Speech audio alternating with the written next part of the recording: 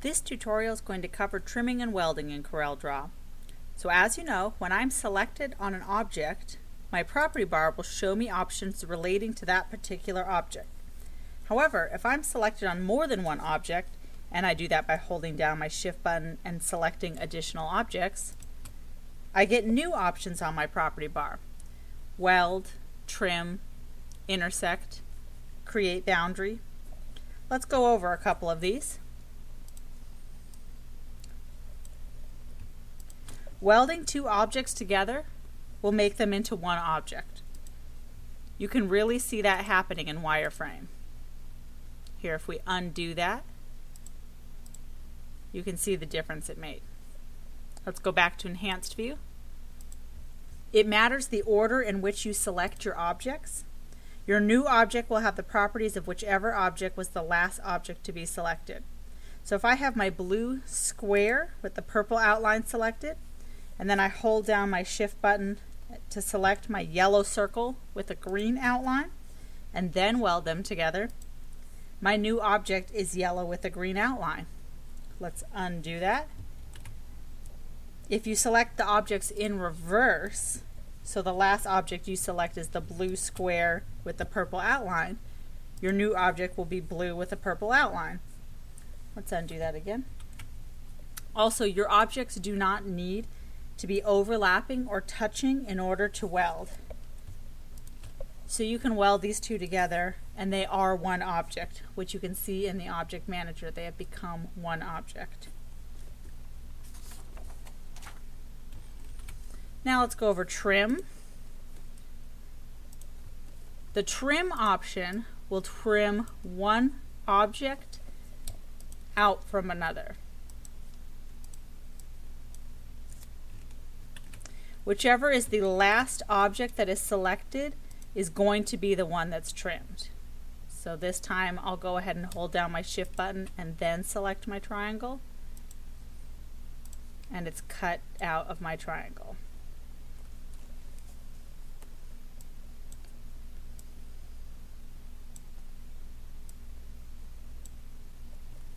Intersect will make a new object from the overlap portions of two shapes.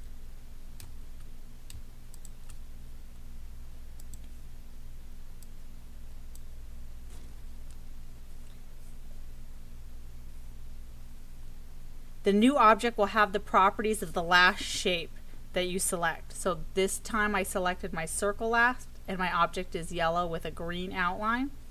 If I select my star last, let me hit intersect and move that off to the side so we can see. Now my new object is orange with a pink outline. I'm going to skip these next three options here they're just variations of the trim option. Let's go ahead and look at the create boundaries.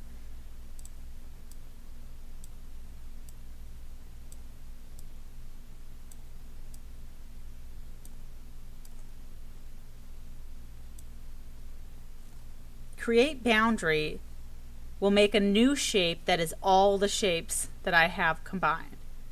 So I can grab all of these together and click on create boundary and it makes one new shape that is all of the shapes together. This is most commonly used for doing a print and cut.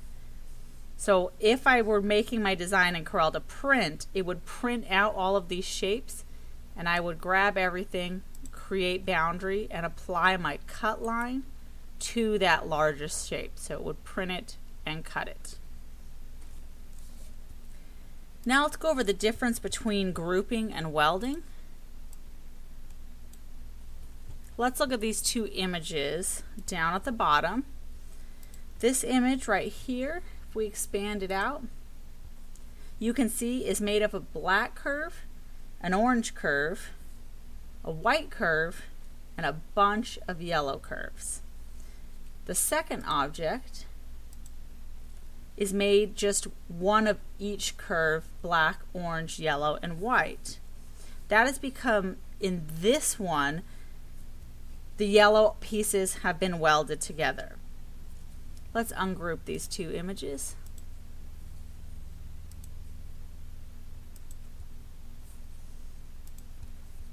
You can see in this one that I can select each of the yellow pieces separately. While in this one, I cannot grab them individually because they're all welded as one. I'm going to grab all of the yellow objects in the first image and group them together.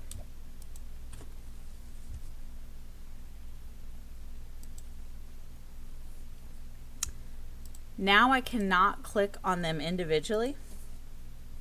I can grab a color from my palette and drag it over to one of these pieces and I can change the color of just one. I would not be able to do that on this side. There's all one piece together.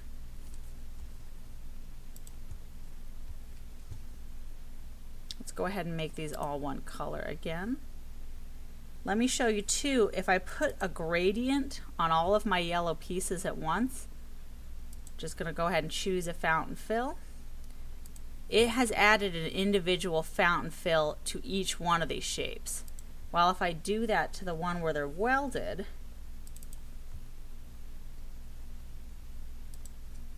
you can see that it just has one fountain that goes all the way across. Let me go ahead and make this solid again. If I add a fountain using my interactive fill tool, I can also get the same look here. But I still have control if I ungroup these individually. I could take one piece and adjust it separately that fountain fill to it.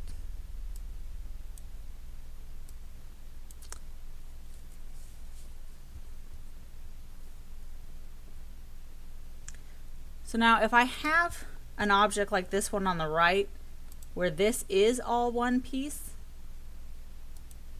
but you want them to be separated, simply click on the object and then go to Object, Break Curve Apart.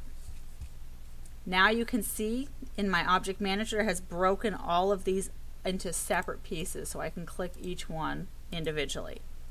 This works perfectly for an object like this where there are no holes cut out any of out of any of these bars. Let's look at the orange pieces. Orange piece. See how there are holes or shapes cut out of them? if I break this object apart, it will also break up those little holes. So I'll have this piece plus this piece and this piece. So something definitely to keep in mind. Let's go over a few real life situations where you may use the trim and weld tools. Here is a design with a tiger and the words Go Tigers. Right now, the tiger is behind the text. If I want the tiger to look like it's jumping over the words with his back paws behind the text and his front paws in front of the text, I'm going to use my trim tool. First, I'm going to copy and paste a tiger on top of the first. Edit, copy, edit, paste. Oops copied something else. Let me click on my tiger, edit, copy, edit, paste. So now you can see on my object manager I have a group of 20 objects, which is my bottom tiger, followed by my text, and then another tiger on top of it. Then I will draw a square over the left side of the tiger.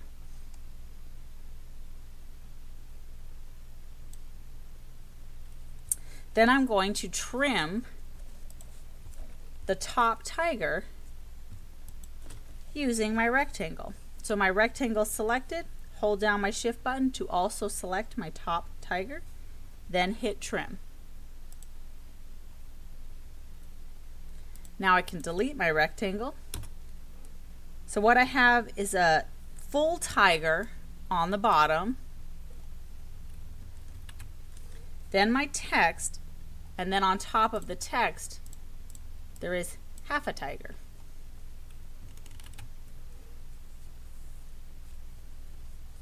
You can see that I have a tiny hairline of black that is visible. I will simply ungroup this top tiger half and use my shape tool to take this left line here and drag it over so there's a little bit of overlap. So I'm clicking on this line with my shape tool, making it a curve, and dragging it over a bit so there's a little bit of overlap. Now we don't see that little black hairline anymore. This is a great design for printing of any kind, but not for vinyl cutting as there are overlapping shapes. Let's do another example that would be vinyl ready. Here I have two images from Action Illustrated's collection, the purse and the dog. Let's say I want to put this spotted dog into the purse so it's peeking out. So let's just first move the dog over on top of the purse.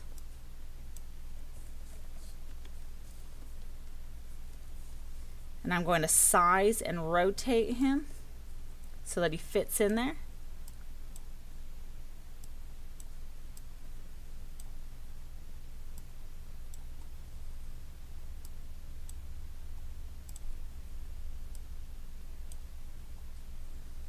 So I'm just eyeballing this to make it look as though he's peeking out between the handles.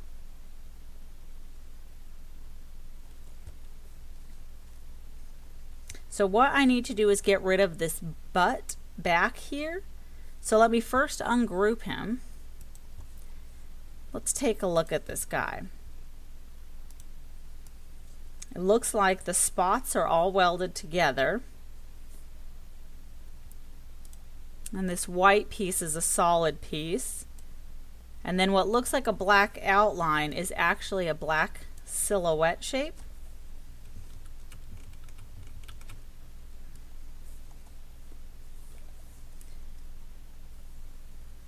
Let me change the color of the spots so we can really see them clearly from the silhouette shape. I'm going to use this white piece to trim out the other objects. Let's start with the spots.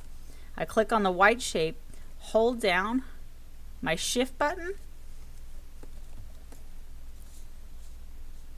and then select my red spots and then hit trim. Perfect. Then let's trim the black silhouette shape. Click on the white piece, hold down my shift button again, select the black piece, and then trim. I can now delete the white shape altogether. The last thing I need to get rid of is this thin little black piece at the top. I'm going to make a rectangle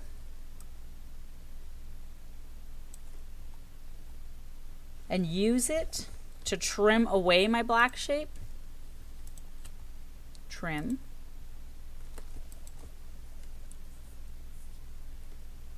And then I'm just going to use my shape tool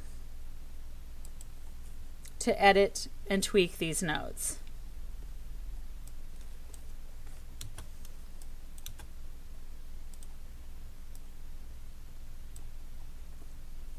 So I'm going to delete these and then edit my curve down a little.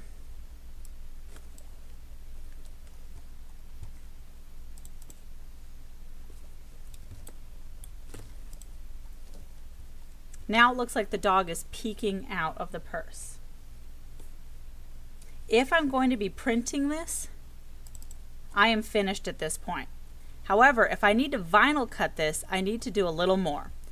If we look at this in wireframe, you can see that the dog is overlapping with the purse pieces. So let's fix that. I'm going to ungroup the purse.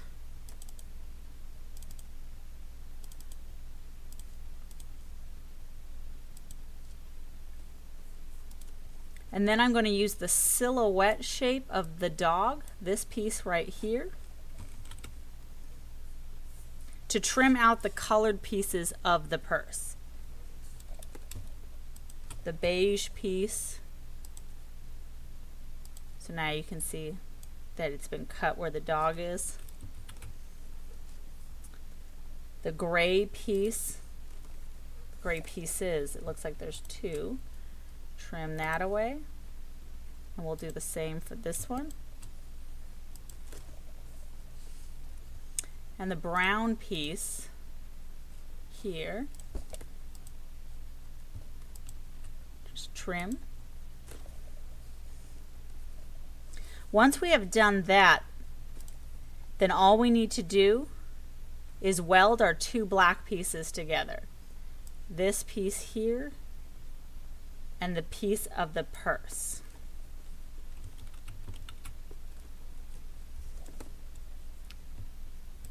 We'll weld those together. Now if we view this in wireframe, you can see that there's no overlapping shapes.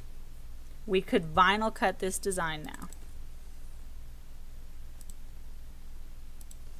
And that is how you use your trim and weld features in CorelDRAW.